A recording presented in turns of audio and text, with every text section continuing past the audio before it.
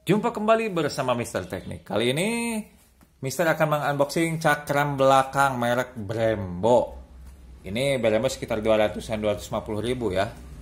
Setelah sebelumnya upload hmm, cakram depannya merek Showa, ini merek Brembo. Ini aneh-aneh juga nih merek-merek Cina. Ini Brembo saya rasa memang bukan asli. Kalau asli Brembo wah mahal.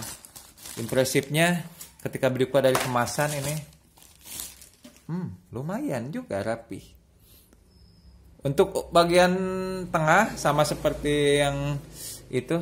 Ini tipenya plotting, plotting nih di sini. Nah, terpisah ya. Antara rotor tengah ini dengan bidang gesek terpisah. Ini tipenya plotting, lumayan eye catting. Ini uh, eh, CNC anodize, jadi aluminium di di CNC terus di anodize warna biru. Ripet-ripetnya ada biru, ada merah, lumayan Mister suka memang sih bentuknya polos tidak bergelombang. Sebetulnya Mister suka yang ada gelombang gelombang web gitu tapi nggak masalah yang penting tengahnya bagus lah. Hmm. untuk bagian ini kayak standar sih. Kualitasnya lumayan tapi nggak sebagus yang merek Sowa. Tapi nggak sebagus merek Sowa sih jadi lumayan. Ini ada kucing lagi ikut ikut.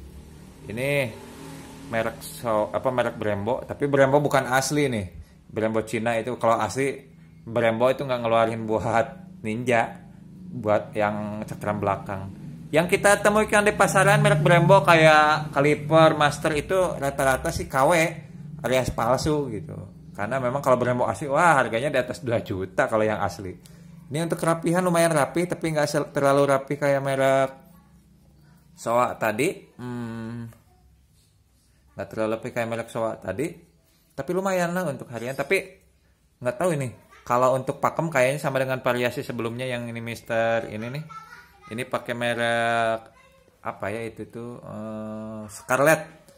Untuk pengereman belakang sih memang nggak terlalu sepenting depan.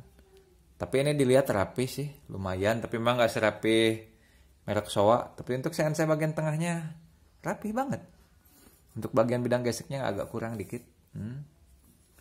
oke itu aja ini harganya sekitar 200 sampai 200 ya 200-an lah gitu. Ini hmm, mau Mister pakai nanti kalau udah dipakai nanti Mister ada video untuk tes rem ya.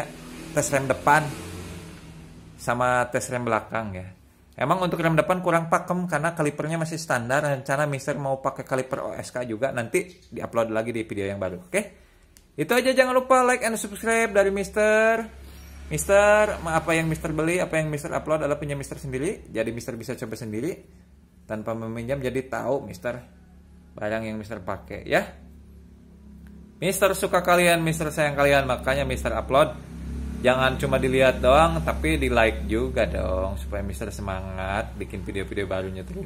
Ini bela-belain Mister beli-beli barang, walaupun itu masih bagus, tapi ingin punya konten video yang bagus gitu, unboxing apa gitu, beli apa Nanti rencana ke depannya Mister unboxing knalpot crimpy yang tipe stainless yang JJ Tuan tipe Cobra gitu untuk di Mister yang satu untuk 500 meteran. Tapi nanti ya belinya setelah lebaran mungkin. Karena kalau beli sekarang takut penyok. Karena ini bulan puasa banyak barang masuk di kurirnya nanti wah numpuk sama barang lain cepet penyok oke? Okay? itu aja jangan lupa like and subscribe. Selamat pagi selamat siang Mister teknik